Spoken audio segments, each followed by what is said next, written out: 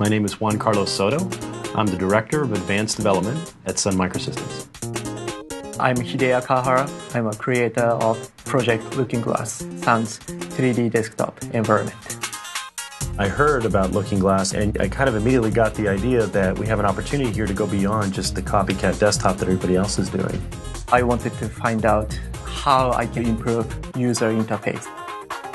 It's a tribute to him that he really spent a year of his own time working nights and weekends to put together his own ideas of how 3D really could work in a desktop. Hideya is actually a gifted artist. There's not just the technical side to his work, but there's a whole creative, a whole artistic side that comes out. So instead of just listing music in a flat, boring way, we can do something like this. You can now glean information from a lot of screens at once without needing to take up as much of the screen real estate. The feature I like the most is putting yellow sticky on the backside of the window. Even on mid-range, even low-end computers today, you have 3D capabilities built in. That's driven primarily through games and entertainment.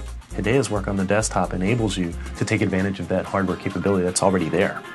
Java really made this possible. If I used language like C++, I don't think I could go this far. Java has good capabilities like built-in synchronization and uh, memory management, which eliminates the possibility of bugs in the code, as well as lots of library features available for us so we can kickstart very creative development instead of you know doing very minor stuff from scratch.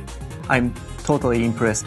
So what we've been doing for the past year is taking those concepts and, and re-implementing them in a way that we can make available to the developer community a developer kit, an environment, a platform upon which they can now build upon that and bring the desktop to the next next wave.